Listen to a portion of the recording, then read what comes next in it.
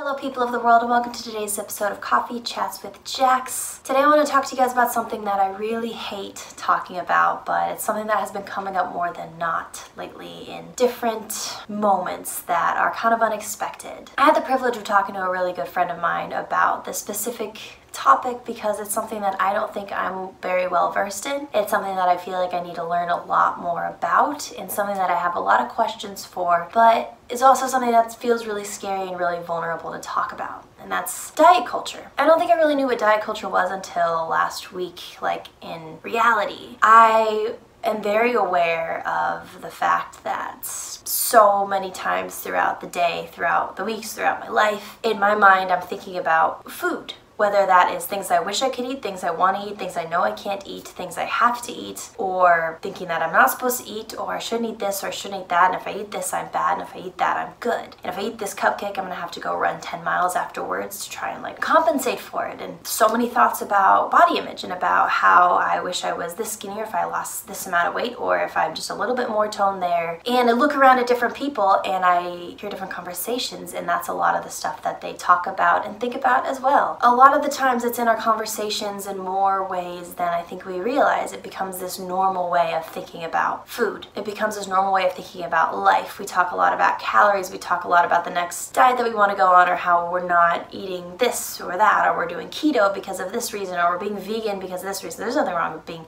vegan, but some people use it as like a, a, diet plan or a weight loss plan, or they think if I take this supplement or if I fast between the hours of this hour and this hour, or if I drink these different detox teas, like it's so common and I am 100% part of the problem, as I think so many of us are without realizing it. But the way that we look at people for eating these foods or those foods, or the way that we look at people based on what their body looks like versus someone else's body. Like if someone in a larger body eats eats cake and then someone in a smaller body eats cake, why are we shaming the person in the larger body while we're telling the person in the smaller body, like, wow, I wish I could eat that and not worry about it? Meanwhile, the person in the larger body is shamed and told that they need to have more self control or they need to work out more, they need to lose the weight or they're unhealthy. There's just so much that goes into this, and a good friend of mine was opening my eyes to this for the first time last week, this thing called intuitive eating. And the more we were talking about this, the more my friend just opened my eyes to so many ways that I've looked at food that is toxic.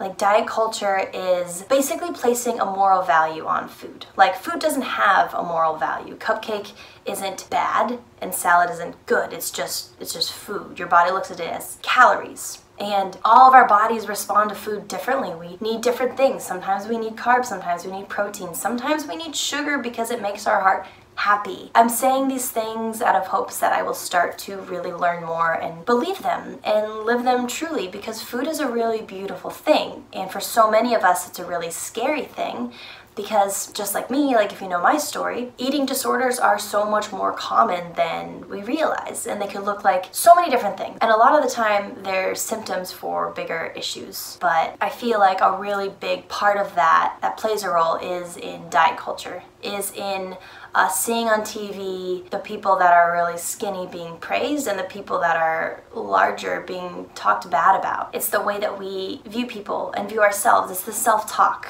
It's people talking about how they're constantly on a diet because they're constantly trying to lose this or that and the, the diet industry is making so much money off of this and it makes me really mad because a lot of the times that's just extremely damaging to somebody's mental health, physical health, just damaging to somebody's life in general. And so this video is really just supposed to be a conversation starter because I don't know a lot about this yet, but I'm starting to really get interested and I'm starting to really want to learn and talk more because it's really important that we have a good view on our body and we have a good view on the nutrition that we eat, on the foods that we eat and we put into our bodies. And I just, I hate the idea of feeling shame over eating a meal. And that could be as extreme as eating any meal you feel shame because I've been there. I've been in this place where if I eat a full meal, I hate myself for it and I think I messed up. But then there's a shame in like eating pasta versus eating salad. And that's the stuff that I think is more openly talked about. It's more culturally accepted to talk about how outwardly, transparently angry at yourself for choosing to eat a bowl of pasta versus a salad. And then you have to go like run five miles the next day to compensate or go on a, a juice cleanse or so so many things. And I want to start talking more about this and I want to ask more questions. And I know that I know very little right now because I'm very new to this conversation about diet culture and intuitive eating. But I'm listening to some podcasts right now that my friend recommended me, and I want to start reading some books and just paying more close attention to the language that I use in my own mind and outwardly when I'm talking about food and exercise and how to be an actually fully healthy human being. And I think self talk has a lot more to do with that than I thought. So I'm going to put some links to resources that a good friend of mine, the one that kind of introduced me into this stuff. She recommended I listen to. I'm going to be listening to this podcast and whatnot. And so if you guys are interested in this conversation, check out the links below. It's something we should be talking more about, focusing more about, and giving ourselves more freedom in. But I know that that's so much more easier said than done, and I'm right there with you. So I love you guys. Thank you for watching this video. If y'all want to support me and get more involved in what I am doing, go to patreon.com slash jackiegtv. And if you're interested in reading my book that I wrote called Finding Home, which shares my story. Actually goes into a lot of this body image stuff. It goes into a lot of stuff about sexuality, faith, relationships, so many things mental health wise. So if you're interested in my book, Finding Home, click the link in the description box below to get it or just send me a message. I'd love to tell you more about it or answer any questions you may have. My email is jackiegtv7 at gmail.com. I love you. Thank you for watching and I'll see you next week. Bye.